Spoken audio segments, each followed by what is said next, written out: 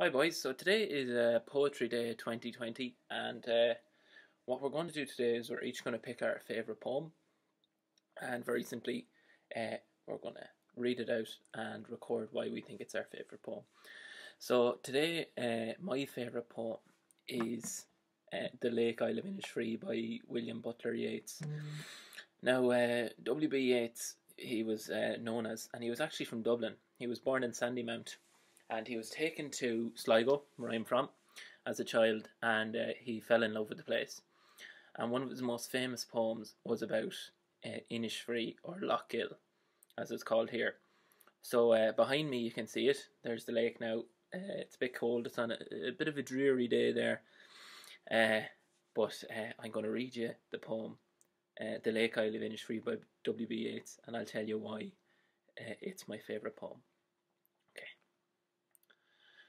I will arise and go now, and go to Innisfree, and a small cabin built there of clay and wattles made. Nine bean rows will I have there, and a hive for the honey bee, and live alone in a bee loud glade.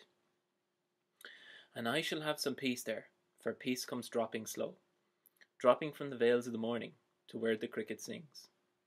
There midnight's all a glimmer, and noon a purple glow, and evening full of linnets' wings. I will arise and go now, for always night and day I hear lake water lapping with low sounds by the shore. While I stand on the roadway or on the pavements grey, I hear it in my deep heart's core. Yeah, that's it there, boys. Um, there's a couple of reasons I really like this poem.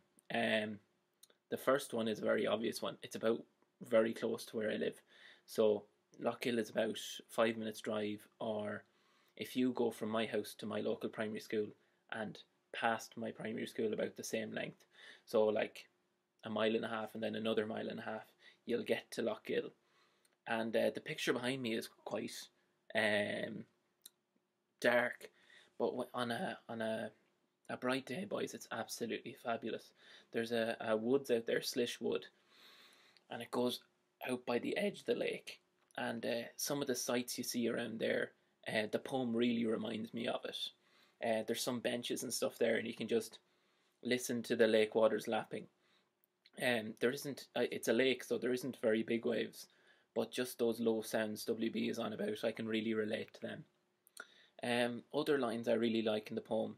A small cabin built there of clay and wattles made. So there's a, an island in the middle of the lake, boys, and you can see it right behind me. And WB is on about retreating to that island uh, similar to what we're doing now during coronavirus, kind of getting away from the hustle and bustle of life and just living a very quiet, peaceful time, uh, like a lot of us are doing at the moment. And I really thought that was fitting uh, for the time we're having now. Okay. And I'll have some peace there for peace comes dropping slow. So that's what WB is on about, that line. He's on about living on the island and just withdrawing from life and living peacefully with nature. Okay. Some of the things I really like in the poem are the descriptions. So he talks about the veils of the morning. So like if you ever see the sky at night or going from day to night or from night to day, you'll see the kind of layers, the red, the purples, the blues that are in the night sky, and that's what WB is on about there, the veils of the morning. So lifting of that light and how it kind of there's different layers to that light. He's on about the midnight's all a glimmer and noon a purple glow. So he's describing the night again there, boys. And as well as the things he sees, he describes the things he hears. And that's what's really different about this poem for me. He describes the linnet's wings, so you can hear the insects in the air. He describes the lake waters lapping. And then the final bit of the poem, boys, is the bit that really hits home. Whether I stand on the roadway or on the pavements grey, I hear it in my deep heart's core. So whether he's in Dublin or he's in a built up city where there's loads of concrete, he still remembers the beautiful lake and um, and the beautiful county Sligo. So that's kind of like me in Dublin, you know. Whether I'm in Finglas or whether uh, I'm at my house in Dublin, I hear it in my deep heart's core. Uh, I'll always want to go home at some stage. So uh, I felt I could really relate to this poem. Uh, and uh, that's why it's one of my favourite poems, boys. So what you can do yourself is you, you can either take a video of yourself uh, reading your own poem, your favourite poem, and giving the reasons for your answer.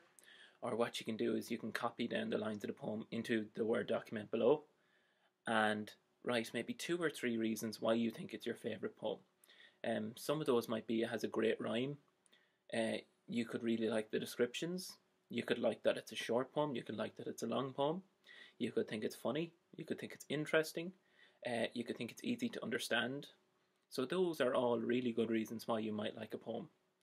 Um, so I hope all of you are keeping well. I hope all of you are safe. I hope all of you are making the most of your time at the moment. And uh, hopefully we'll see you again soon, boys. Okay? Stay safe, stay happy, and best luck.